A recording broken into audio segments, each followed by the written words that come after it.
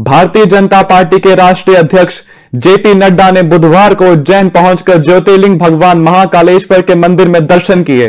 उन्होंने भगवान महाकाल का पूजन अर्चन कर आशीर्वाद लिया। इस दौरान मुख्यमंत्री डॉक्टर मोहन यादव भी मौजूद रहे। जेपी नड्डा ने भगवान महाकालेश्वर मंदिर के गर्भगृह में पूजन अर्चन किया। उनके साथ उनकी पत्नी और बेटा भी मौजूद रहे। नड्डा करीब 30 मिनट तक महाकाल मंदिर में रहे। भगवान महाकाल के दर्शन करने के बाद नड्डा परिसर स्थित महानिर्वाणी अखाड़ा पहुँचे और महंत विनीत गिरी का आशीर्वाद दिया।